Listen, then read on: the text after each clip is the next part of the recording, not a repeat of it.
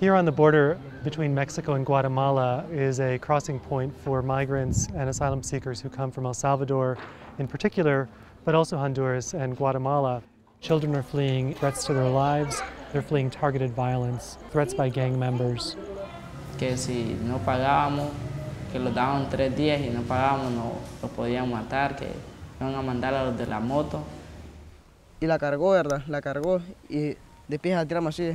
Me tiró, eh, pues de la bala me entró por una nalga y la nalga de que, de que me arriba, como, como de que como de la corrida que pegué.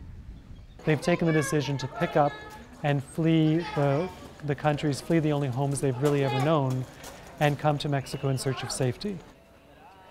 17,000 unaccompanied migrant children came to Mexico in 2015.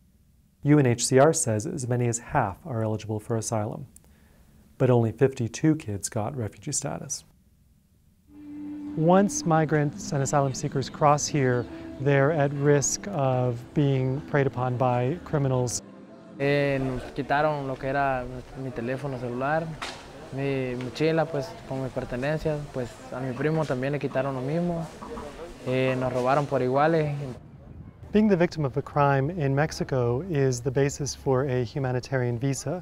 It's also possible, at least on paper, for unaccompanied children as well as those who are applying for refugee status to be granted these visas. Unfortunately, what we're seeing is that humanitarian visas are rarely granted, which means that many uh, asylum seekers are spending protracted time behind bars needlessly. We're also seeing that many other kids are being discouraged by law enforcement from making or following through with asylum claims. Están diciendo a, a estas personas ¿no? que, que, se regresen a sus países y que vuelvan a entrar por la frontera. Si detiene a un solicitante de asilo, lo prive de su libertad, sin un debido proceso, sin información, con acoso constante de los, de los agentes de seguridad, de los agentes de inmigración, para que la persona realmente desista del caso de asilo, pues... In principle, child protection officials are employed by the Immigration Department to advise children of their rights and to screen them for protection needs. But what we often see is that these officials never fulfill these duties.